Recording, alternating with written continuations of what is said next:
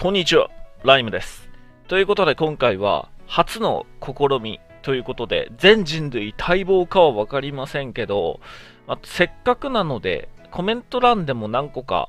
ね、いただいていたもので、オーバーロードコラボキャラと相性のいいキャラ、パーティー編成解説。はい。ということなんです。結局、えー、まあ、たびたび結局いただくじゃいただくんですよ。今月のキャラって、どんなキャラと相性がいいですか？とか、例えば、このキャラの代用キャラって他にいないですか？誰ですか？みたいなね、質問。その手の質問に対しての明確な答えっていうか、まあ僕が答えとして出せるのは結局動画なわけだけど、それに対しての動画って今まで出してこなかったんですよ。基本、まあ、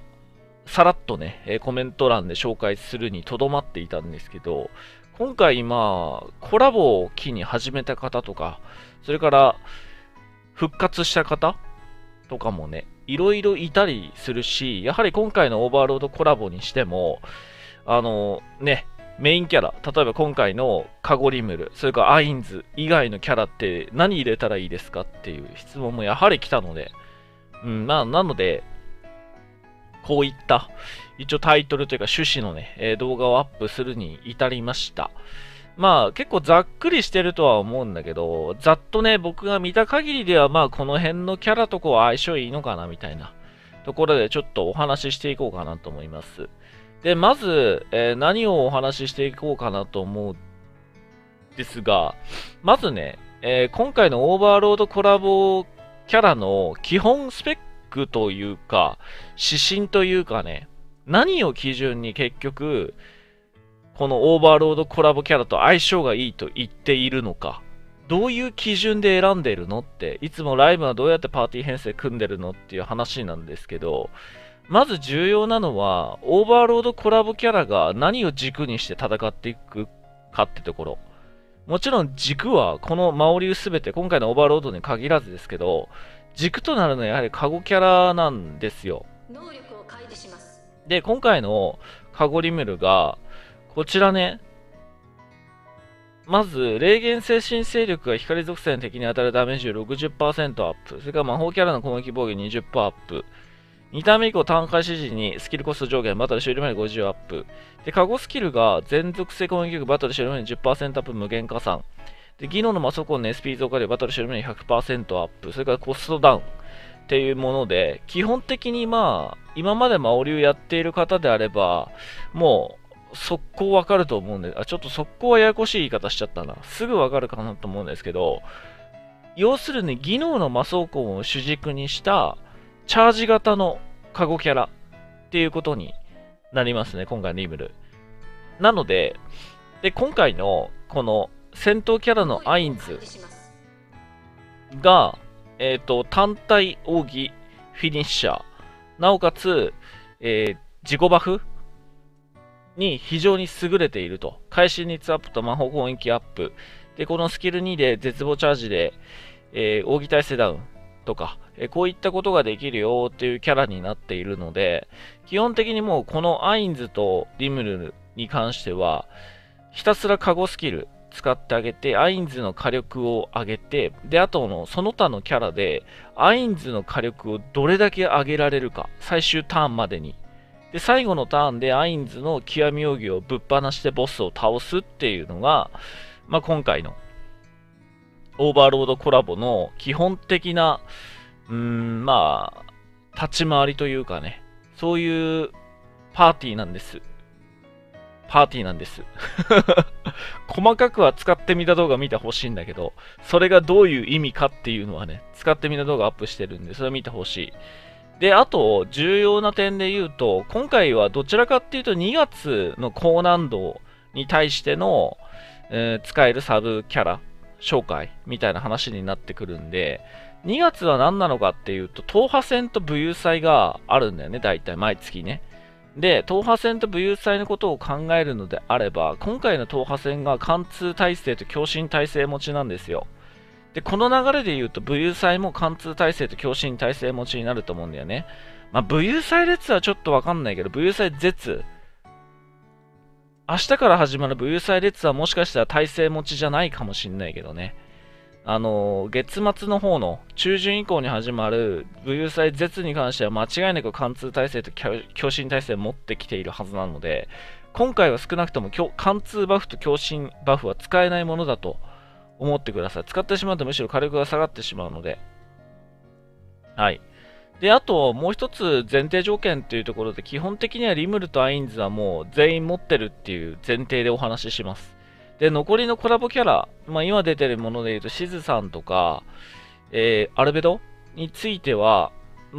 持ってないとか、まあ、この辺は自由というかね、あとはもう残りのコラボキャラについては皆さんの手持ちと、これから僕が紹介する候補キャラと見比べてまあ選んでいくっていう形になると思います。まだシャルティアも出てないし、まあ、どうなるか性能も何とも言えないところではあるんですけど、仮に、まあ、もう今回、リムルとアインズしか引かなかったよって人は、これから僕が言う候補キャラをとりあえず入れとけば OK。今月に関しては全て乗り切れるっていうイメージでいいと思います。はい。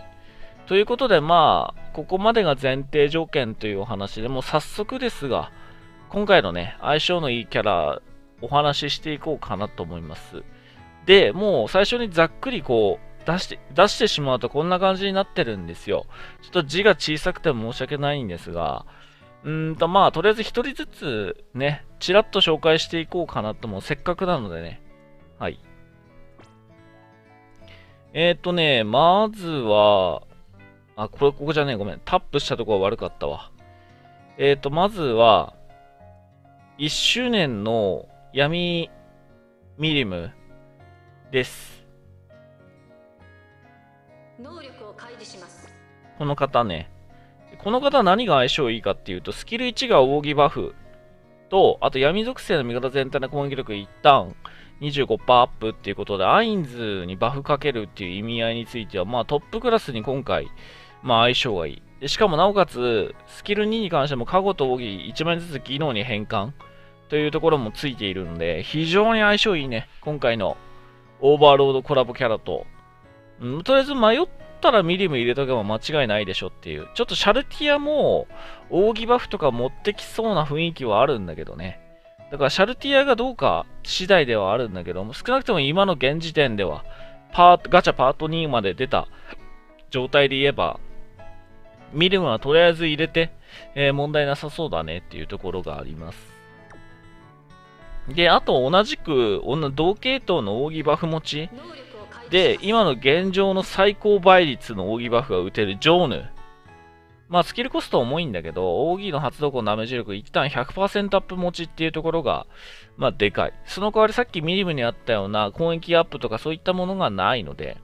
まあ、攻撃アップ自身は、まあ、この後紹介するキャラでもできるから、まあ、ジョーヌと攻撃アップの他のキャラ組み合わせて使うみたいなことも全然できるかなと思います。で、あと相性いいキャラで言うと、極み星5でも全然ない、シンシアですね。えーっと、いた。全然レベル上がってなかった。はい、シンシア。こちら味方全体の闇属性攻撃力一旦50%アップ。スキル覚醒で8ターン目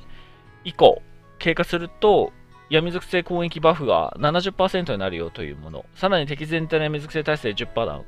さらにスキル2で会心耐性ダウンも無限加算でできるよっていうところで、まあ、今回のオーバーロードコラボというか、アインズと非常にまあ相性が良くなってるよということですね。はい。で、あとは、配布の維持数なんですけど、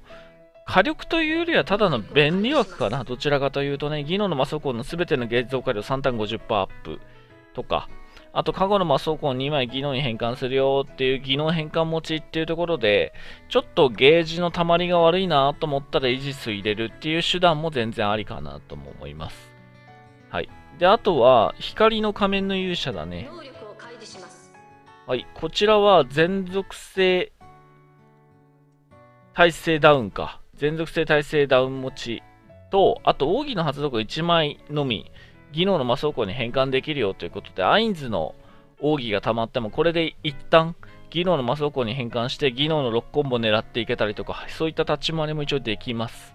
まあ、これももう、えー、この間のしずさんとかが出てしまったんで、まあ、しずさんのほとんど劣化版みたいな形にはなるんだけど、だからシズさんの大洋枠みたいな、そんな感じのイメージになると思います。であとは2周年のヴィオレ。これが味方全体の魔法攻撃力一旦100%アップっていう、今現時点での最強の魔法バフ、魔法バッファーっていうことになるから、まあ、これもアインズと非常に、まあ、相性がアインズの火力を伸ばしやすいということですね。はい。それからあとは、オクタグラムルミナス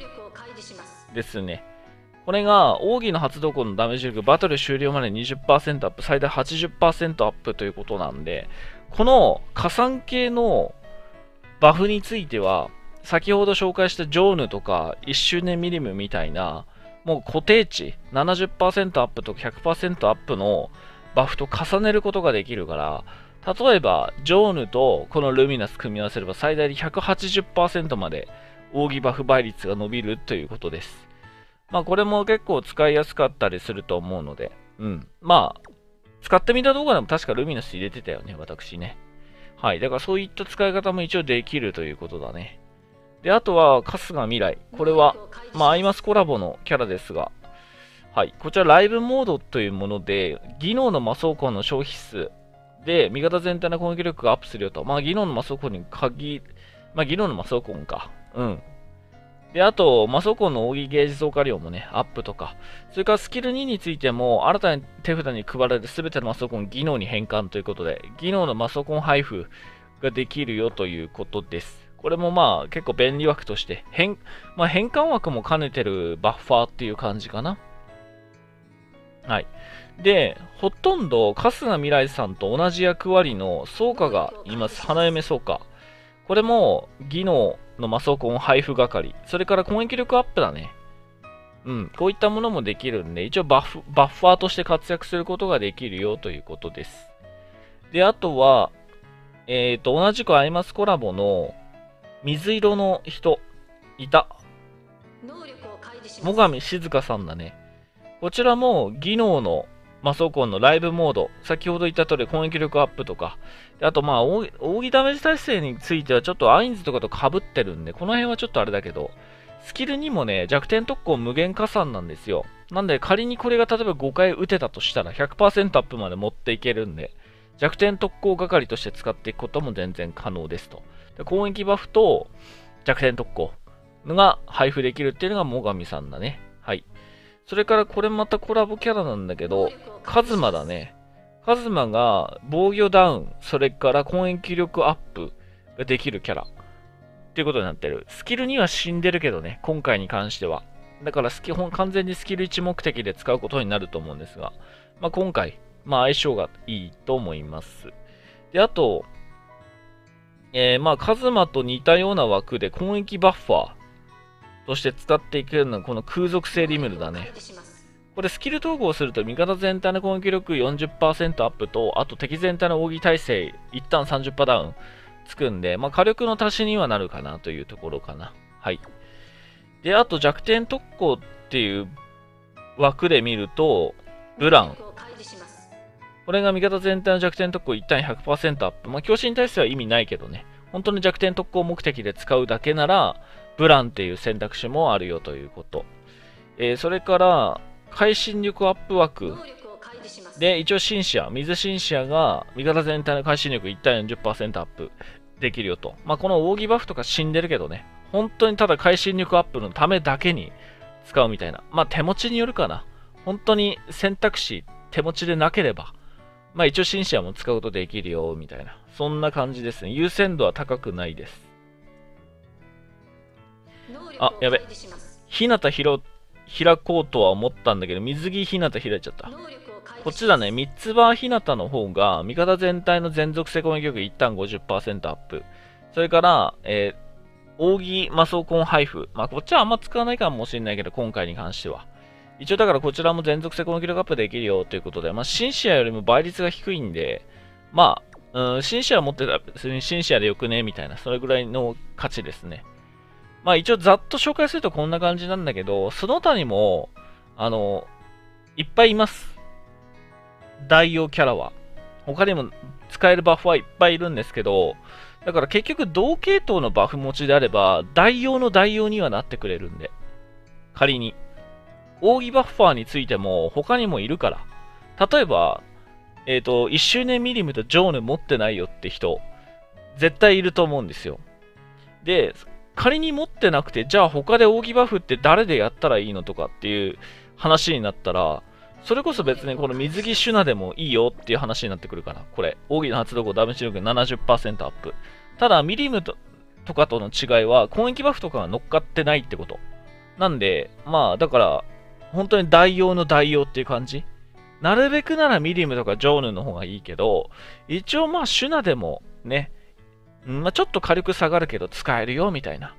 そんな感じのイメージだね。だから探せばいっぱいいると思うんで、あとはもう本当に皆さんの手持ちで探してみてくださいという感じ。なので、とりあえず今言ったようなキャラがですね、今回のオーバーロードコラボキャラと相性がいいということになってくるので、もうあとは皆さんの手持ちと相談して、あの、入れ替えたりとか、使ってみたりとかして決めていくといいんじゃないかなと思います。はい。まあ、まだシャル、シャルとか出てないからね、まあ、本当にシャルがどんな性能になるかっていうところも見どころなので、またね、えー、明日の武勇祭列であったり、それからシャルヌも、まあ、近々パート3ガチャで実装されるかなと思うので、そちらの性能評価動画とかね、あと来週あれもあるのが、英傑杯のランキング戦もありますので、多分土日のどちらかか、まあ、あるいは両方なのか、夜の21時から生放送やる予定なので、ぜひね、ご興味ある方遊びに来てください。といったところで、今回動画はここまでで終わりたいと思います。参考になった、面白かったぜって方は、ぜひチャンネル登録、そしてメンバーシップ登録等もよろしくお願いします。それではご視聴ありがとうございました。